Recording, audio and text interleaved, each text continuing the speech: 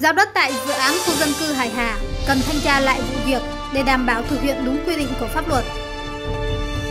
Việc giao đất không qua đấu giá thì chủ đầu tư phải có đủ điều kiện theo điểm C khoản 2 điều 22 luật nhà ở. Đối với vụ việc tại dự án này, cần phải tiến hành thanh tra lại vụ việc để đảm bảo các bên thực hiện đúng quy định của pháp luật, là quan điểm của luật sư Hoàng Tùng, trưởng văn phòng luật sư Trung Hòa, đoàn luật sư thành phố Hà Nội.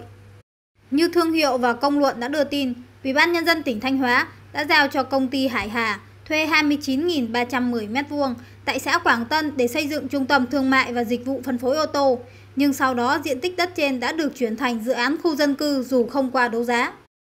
Ngày 27 tháng 12 năm 2018, Ủy ban Nhân dân tỉnh Thanh Hóa đã ban hành quyết định số 5.315 cho phép chuyển mục đích sử dụng 29.310 m2 từ đất dịch vụ thương mại sang dự án đầu tư xây dựng kinh doanh hạ tầng khu dân cư Hải Hà, trong đó có 16.648,7 m2 là đất ở.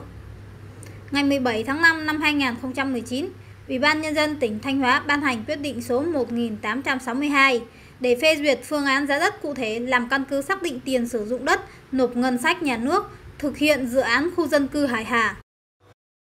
Theo quyết định này, tổng số diện tích đất có thu tiền sử dụng là 16.648,7 m2, tương ứng số tiền sử dụng đất phải nộp vào ngân sách nhà nước là 29.095 tỷ đồng, tương đương 175.000 đồng một mét vuông đất ở, trong khi giá giao dịch đất ở khu vực này cao gấp nhiều lần giá thành.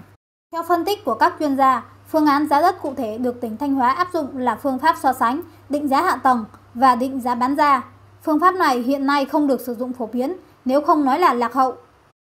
Cách tính này chịu ảnh hưởng lớn bởi yếu tố chủ quan của nhà nước, có nguy cơ gây thiệt hại ở chỗ không qua đấu thầu mà doanh nghiệp lại được chỉ định làm hạ tầng, được tính chi phí hạ tầng theo đơn giá, sau đó nhà nước lại đi định giá bán ra, trong khi việc mua bán là vấn đề của thị trường, dẫn tới hai nguy cơ là làm giá làm hạ tầng có thể bị đẩy lên cao, trong khi giá bán lại bị kéo thấp xuống. Hệ quả, thu thì thấp, chi thì cao, gây nên tình trạng ngân sách nhà nước bị hao hụt. Cách tính đúng theo phương pháp đấu thầu theo quy định là giá đấu thầu bao gồm các giá trị xây lắp, giải phóng mặt bằng và lợi thế thương mại. Trong đó, lợi thế thương mại là yếu tố quyết định để tìm chủ đầu tư có đủ năng lực, sát giá thị trường, đảm bảo thu cho ngân sách nhà nước.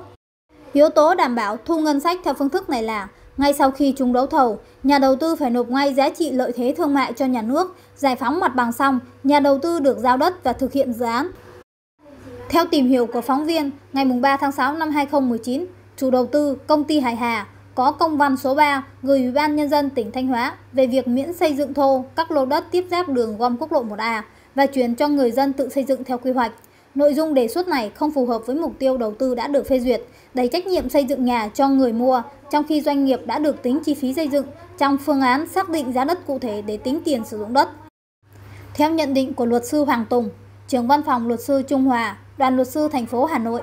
việc giao đất không qua đấu giá thì chủ đầu tư phải có đủ điều kiện theo điểm C, khoản 2, điều 22 luật nhà ở. Đối với vụ việc này, cần thiết phải tiến hành thanh tra lại vụ việc để đảm bảo các bên thực hiện đúng các quy định của pháp luật. Trường hợp Ủy ban nhân dân tỉnh Thanh Hóa có vi phạm thì cần phải xác định vi phạm cụ thể. Trường hợp gây thất thoát ngân sách nhà nước thì có thể các cá nhân sẽ phải chịu trách nhiệm hình sự về tội vi phạm các quy định về quản lý đất đai theo quy định tại điều 299 Bộ luật hình sự.